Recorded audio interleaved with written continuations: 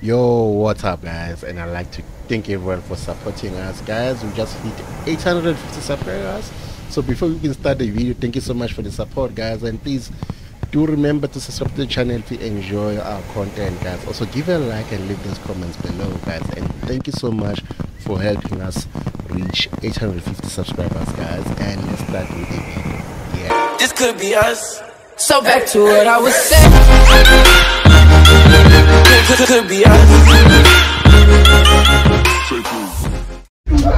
Yeah, guys, the bus is leaving now on the bus, guys. His mother. So I started our tour, guys, and we said you're going to. Uh,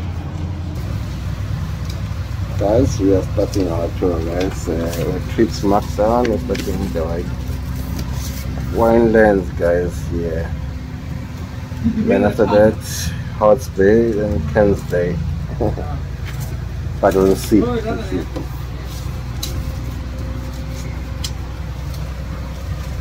Hmm. Even when you feel low, you can still go. Even when you feel slow, you can still go. Even when there's no hope, you can still go. I never answer to no, man, I still go. Go, go, go, go, go, go, go, go,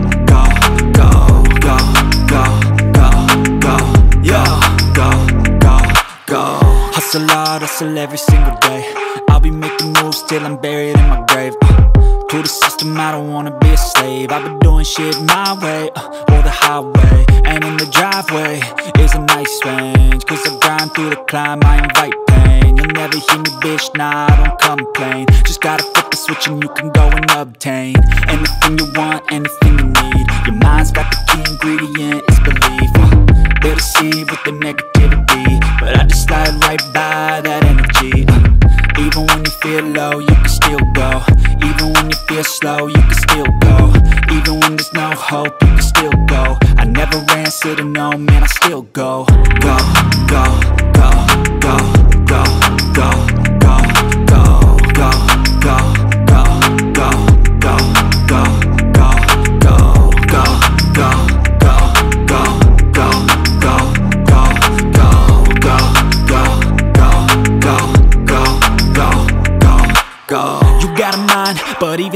change. You could flip the gray matter like some batter in your brain. Uh, That's why I say, fake it till you make it A. And if you play that game, then you just might make a change. Rearrange all the bad to okay. Take the worst thoughts saying, turn them to a game. Take the best thoughts saying, put them on display. On repeat in your brain till you're feeling no more pain. Uh, Never slow yourself down, you can do some more. Push past all the pain and you'll find a door. Open it up and finally explore everything that you thought you could never do before. Uh, even when you feel low, you can still go. Even when you feel slow, you can still go. Even when there's no hope, you can still go. I never answer to no, man, I still go. Go, go, go, go,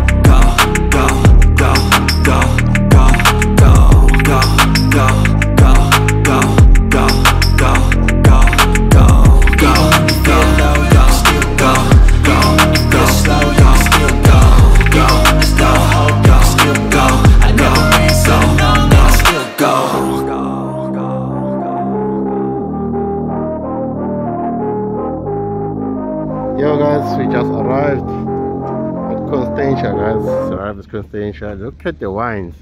Wine trees guys. And today I think it's a good time we're flying a drone here, but we'll do it a bit later guys. We just arrived now, want to do the wine tasting then before we go away. We will eventually fly the drone today. And just taking a, a round trip because Shadow's car is a bit blocked here. So we are just taking this more round trip but look how beautiful it is guys. This is Constantia guys Groot Constantia and so wine area where they make wine red wine white wine about red wine and everything. So we will see how many wines we wanna eat. And let's enjoy our day guys. Let's enjoy our day. Woohoo! yeah Ah, so beautiful, guys. And the sightseeing on the bus, the views were awesome, guys. Like this trip is worth worth it without even even getting to taste wine, but So tonight we're gonna taste one because yeah, we plan to taste one. But it's worth it without tasting anyone. So I'll give it a go, guys. Number one trip ever. This is the bus sighting, guys. It's very good, and we can use it uh, to just go to Botanic Gardens, uh, go to Camps Bay, go to Hout Bay. So we're experiencing all of it. And right now, uh, I'm gonna take a break and wait for this guy here. Yay! Look at the beautiful girl. Yay, she's dancing. yeah, guys, you haven't seen my face today. Oh, I did see it, but we just arrived here. It's a bit, a bit hot today. Very good weather, good weather. Indeed, good weather in Cape Town. Look how shiny it is behind me. So let's go and check out these wine tasting and tours and stuff uh, and see what you can do. We're just walking without anyone guiding us. We are ourselves guides here, so let's have fun. Yeah. yeah apparently, our ticket gives us access to museum, wine tasting, and a tour to see how the wine is made. So let's go straight up here and see what how, how wine is made. And we'll see if we can carry each other over these steps that you're talking about. And starting now, I guess. So the Cloetes owned this farm doing that amazing job uh, putting Groot Constantia on the world map of wine.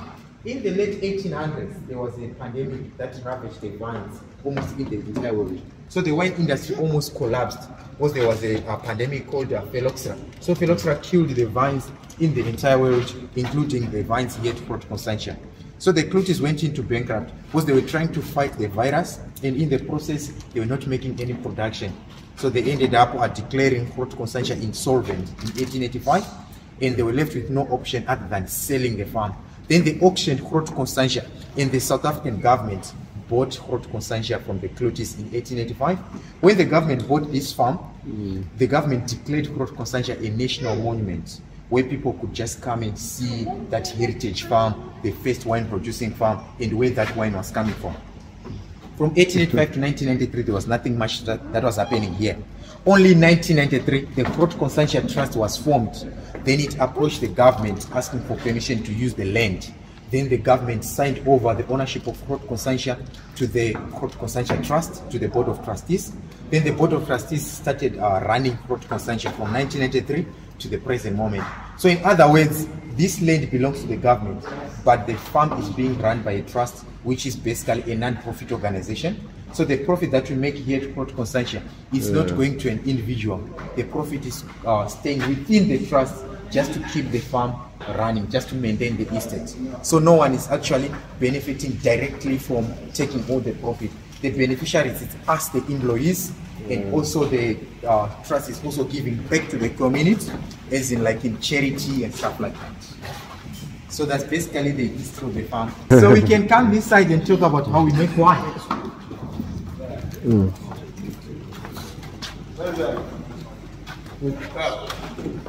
So in most cases, I find out what they ask me at the end of the talk. So they ask me like, so when do you actually make the wine? They think this is just a demo, but I just yeah. clear that out. This is where the magic happens. Wait. On my left, this is where we ferment the red wines. Okay. Uh, then on my right, this is mainly the storage tanks. Uh, then few tanks over there, or those stainless steel tanks with a big yeah. opening, those are the fermentation tanks for the whites. So in other words, we make more reds than whites. Oh. So we make like 70% reds, 30% whites. That's why we see we have only few tanks uh, for the fermentation of wines. So we start by harvesting our grapes by hands, as I mentioned earlier. We bring our grapes from the vineyards, uh, we use tractors. We bring the grapes to the uh, production cellar, which is here.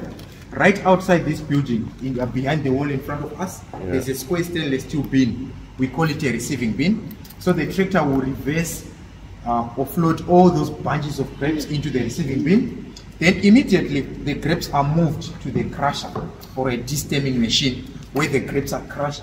Then the stalk, that stick that binds grapes, it will be vacuumed outside. Then we remain with what we call mesh, which is the skins, the juice, and the seeds. So let's say for the white wine, for the Sauvignon Blanc, those green grapes, yeah. we take our mesh, we put in this machine here, we call it a presser. So this uh. presser uses air, so it's a pneumatic presser. So inside this machine, there's a balloon, a very big rubber balloon, and there's a compressor attached to this machine. When we put the grapes inside, we close the machine, we switch it on. Then the compressor will start to pump the balloon. As the balloon expands, it sort of strains, it squeezes the grapes against the bottom of the machine. Then they are like little tiny holes, like those ones that you see there at the bottom. That's where the juice comes out, leaving the skins and the seeds inside. So that's how we press the grapes to get the juice separate with the skins. Back in the day, they used to do it by feet, like stamping on grapes like this. So back in the day, uh, slavery was more like a backbone of winemaking. So they had slaves even here at Groot Constantia who used to do that to press the grapes by feet. But nowadays we are improvising as well, and we are also doing mass production. That's why we use the, the presses. So once we press our white, uh, our green grapes, we get our juice from the presser, we put in the fermentation tank, then we add yeast. Yeast is like a living organism. It feeds on sugar. The yeast will start to eat the sugar that is in the juice, converting that sugar to alcohol. That's fermentation. Fermentation takes plus or minus two weeks, like 14 days. In 14 days, you no longer have sweet grape juice. You have your wine already. If you can Oh. drink the wine at that uh, at the end of of 14 days, you can actually it can actually do the job. Trust me, you can walk with the side. but one thing for sure, you won't enjoy that wine. Because that wine lacks structure. It's flat. So what we do, we leave that wine in the tank to mature on the lees. Mm. So that when the when the yeast is done fermenting the wine, it dies. It becomes a creamy segment that sits at the bottom of the tank. So we leave the wine to sit on that segment. That segment will give back to the wine, giving your wine like a structure. After five, six months of maturing on the list, we take our white wine from the stainless steel tank. We put in those white tanks in the corner there. Those white tanks are basically uh, purification tanks or stabilization tanks. That's where we add some purification agents. Like a bentonite. It's a fine powder that we add into the wine that purifies the wine. It sort of filters the wine out. Once the wine is filtered out, then we pump it out. It goes through electric filter. Then it comes to the storage tanks after that. So the white wine is ready from there. Then it goes for bottling from the storage tanks. So it's very uh, easy to make a white wine, I should say, and it doesn't also take much time to make white wine. Whereas the red, it's slightly different from the white. So now we're going to talk about how we make the red. The red is being made from the black grapes. So the black grapes, after crushing them, we don't press like what we do for the whites. We take the skins, the juice, and the seeds. We only remove the stalks. We take the skins, the juice, the seeds into the fermentation tank right away. So we put everything. We add yeast. It starts to ferment. As it ferments, on the skins of the grapes, there is what we call phenolics, which is uh, the anthocyanin, which is the color pigment, and the tannins. So as it ferments, the color is dissolving from the skin into the wine.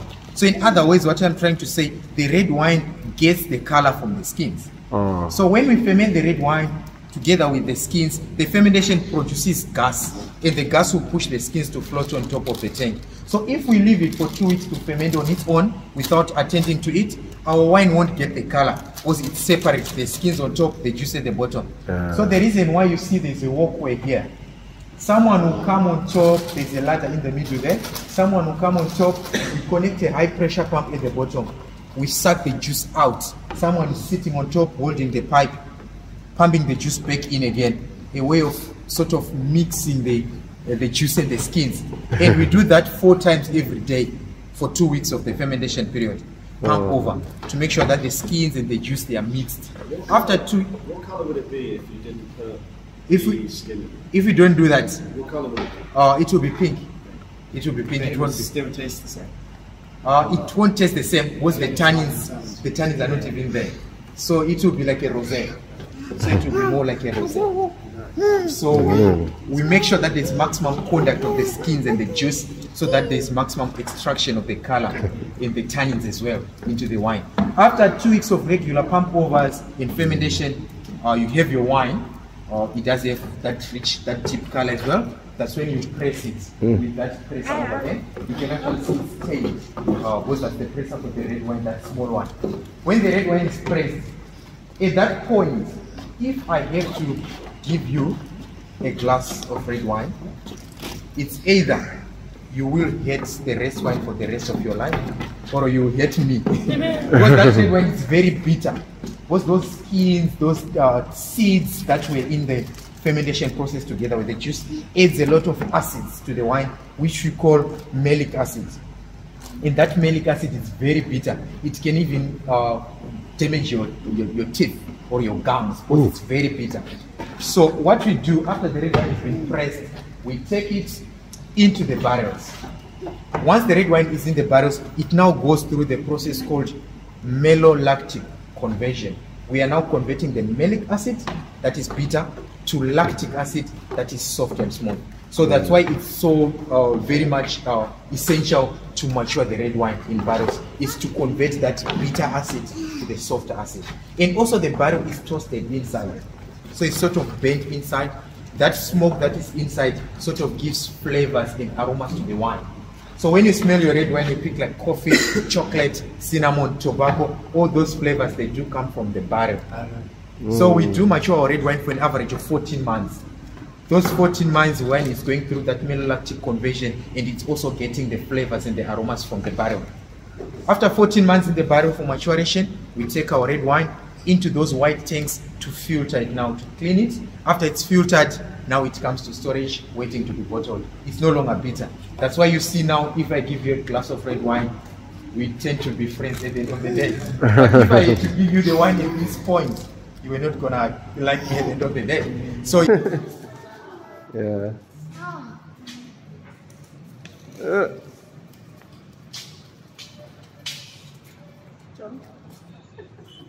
Oh, fana, fana, you, wow.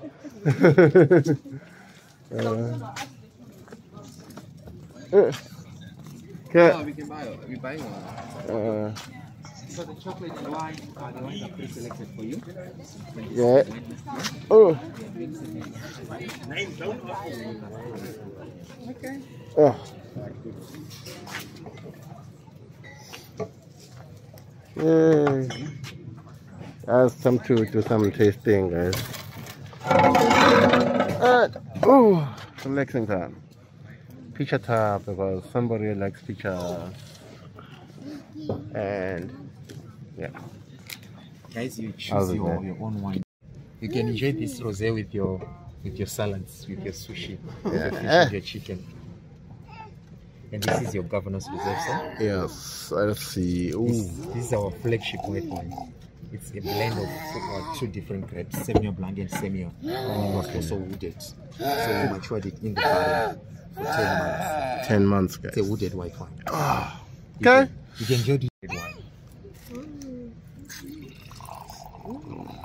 It's, a, it's deep. The color is deep. It's rich in color. Yeah. Then we're gonna do the governor's reserve for you, sir. Yeah, This well, is our flagship. This is our premium red. It's actually a blend. It's a blend of four different grapes in here. Cabernet Sauvignon, Cabernet Franc, Merlot, and Petit Verdot.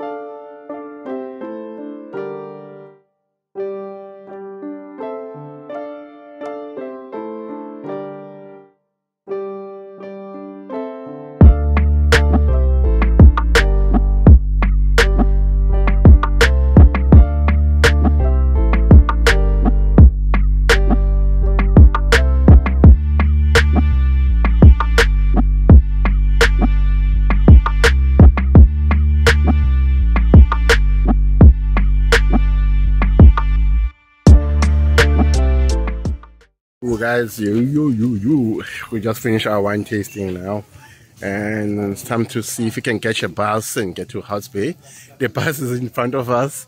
I don't know if we can get it or not, but uh, we can try and rush it and get to it. We're just seeing it now. Yeah. Anyway, we're done with that wine tasting. Time to continue our trip, guys, to Hout Bay and Camps Bay. Since it's hot today, so let's do it today, every day. Yeah. Guys, the bus is there. Hope we don't miss it. Yeah. Look at people rushing. These people are rushing. Is this how is this a rush walk? Rush, walk, rush, walk, hike, hike, hike. Charlie is just chilling there. Yeah. Anyway, we're rushing. yeah guys, we are leaving Constantia guys. Ooh, look at the sun, guys. Ooh. Look at this tree.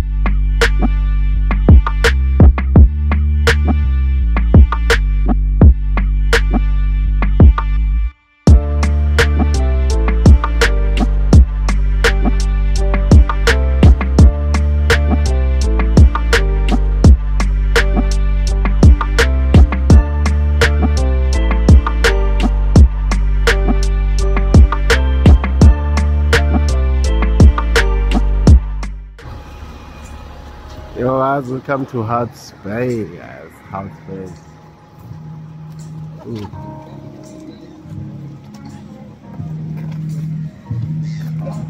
It is a bit chilly here, this way. Yeah. Finally got my life together. Scream my heart on the floor. Hey. My attitude is so sensitive.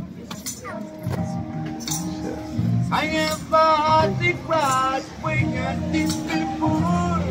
Believing in us, having myself a time. Ah. Guys, we're in Hout Bay and some live performance here. Every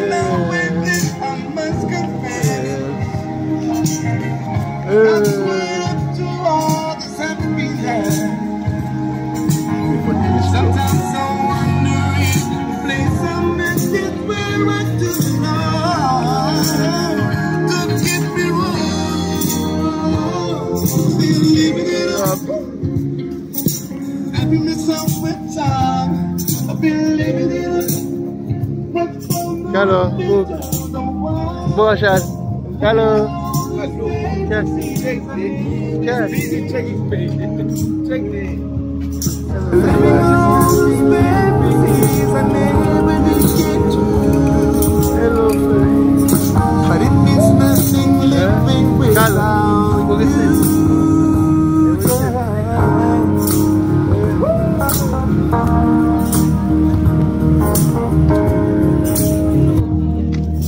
Nah, that is it. You want to take a picture? You can take a picture.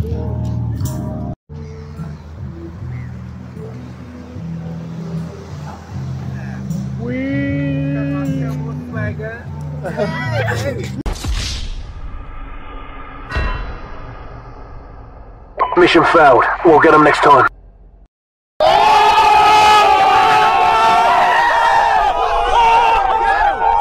Guys, uh, this is the the Hout Bay, guys. Hout Bay. When my which is watching Hout Bay, you're gonna be chilling on those places about close to the ocean. Yo, guys, look at the view behind me. We're at Hout Bay, guys, and we're gonna try to get some food here, and afterwards continue to Camps Bay and relax afterwards. Yeah, anyway, we'll see what's gonna happen, guys. Yeah. Eh. Moritz. This is the place, Moritz. Moritz. You're here for ice cream. Yeah, okay, let's go get some food quickly. Yeah, guys, just finished uh, for the Hout Bay. We're going to Camps Bay now. Yeah, this guy is eating. Hello. nom nom.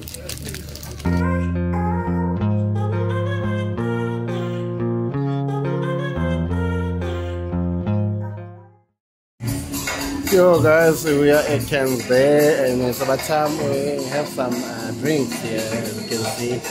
Got some beers, got some tea, Chardonnay juice. So we are tired guys, I think. For today we're, we're gonna end the vlog here guys. I hope you enjoyed our day. Doing some wonderful trips. Constantia was the main part of the trip and we went to Hout Bay and now we're ending up in Camps Bay, guys. This way end the trip, guys. Hope you enjoyed it. I'll see you another time when you're alive, guys. This is ZuluMachine signing out and have a great day. Goodbye. Out.